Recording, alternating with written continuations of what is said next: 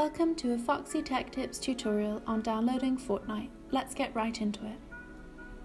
Note that you will need about 80 gigabytes of spare storage on your PC for Fortnite to install. Open up a web browser and go to epicgames.com. In the Epic Games search bar, search for Fortnite. On the Fortnite page, click on Get.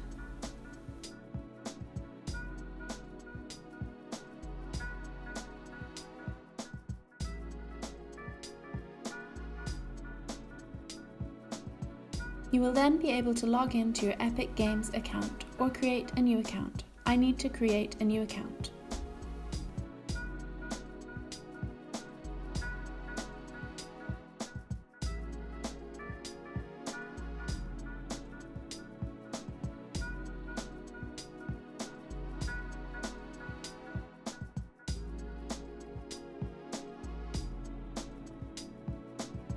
Once that's done, I can now place an order for Fortnite.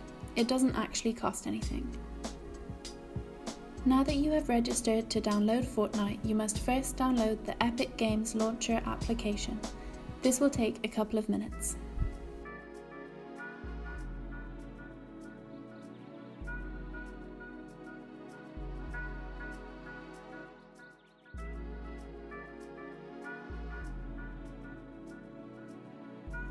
Now that's finished, go to your desktop and open up the Epic Games Launcher and log into your account.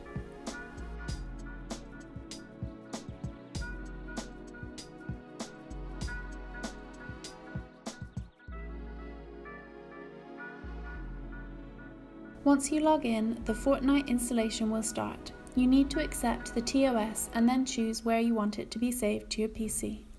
And now just sit back and wait for it to download and then you are ready to play.